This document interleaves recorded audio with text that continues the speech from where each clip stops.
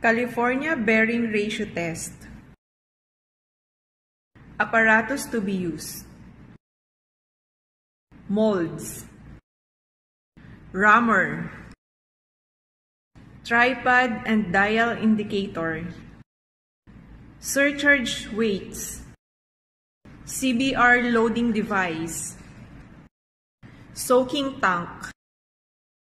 Drying oven Mixing pans Straight edge Filter paper Balances Moisture cans Graduated cylinder and water bottle Vernier caliper Procedure. Get the weights of each mold with the base plate without the extension collar and the spacer disc to the nearest 5 grams. Measure the diameter and height of the mold. Measure also the diameter and thickness of the spacer disc. Obtain a 6.8 kg of material passing sieve 3 4 inch or 19 millimeter.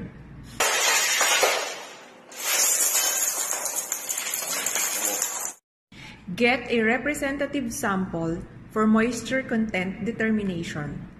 This is the hygroscopic moisture content or the actual percentage of moisture content of our sample. Compute for the amount of water to be added. Thoroughly mix the computed amount of water to be added to each of the 6.8 kilogram samples. Clamp the mold with extension collar attached to the base plate with the hole for extraction facing down.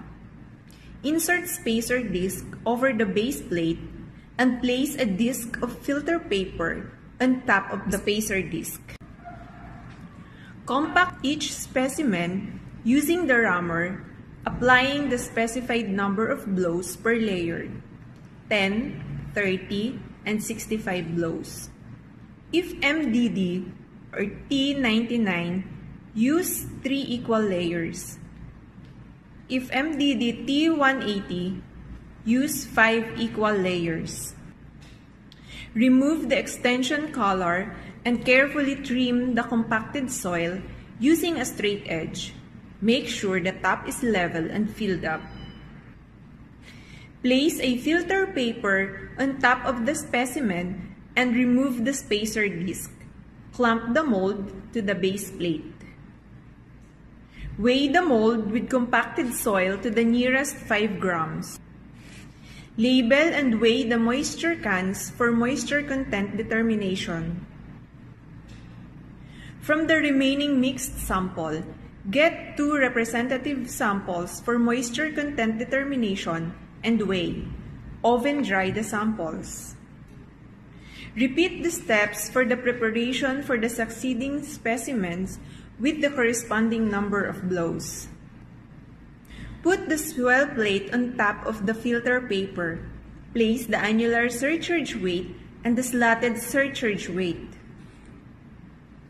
Attach the extension collar and set up the tripod and swell gauge. Immerse the mold and weights in water, allowing free access of water to the top and bottom of specimen. Take initial measurements for swell and allow the specimen to soak for 96 hours. Remove the free water and allow the specimen to drain downward for 15 minutes. Take care not to disturb the surface of the specimen during the removal of water, remove the weights, perforated plate, and filter paper. Place a surcharge of weights on the specimen sufficient to produce an intensity of the loading specified. Set the penetration piston with a 4.54 kilogram load, then set both the penetration dial indicator and the load indicator to zero. Apply the load on the penetration piston so that the rate of penetration is approximately 0.05 inch or 1.27 millimeter per minute. Record the division readings at each specified penetration. Remove from the CBR loading device. Get samples for moisture content after penetration.